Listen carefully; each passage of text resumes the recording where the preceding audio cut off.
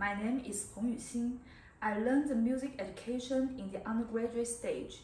I hope in the master stage can follow the teacher to learn the piano performance direction of the content. Then I will play three tracks. I hope the school can give me this learning opportunity.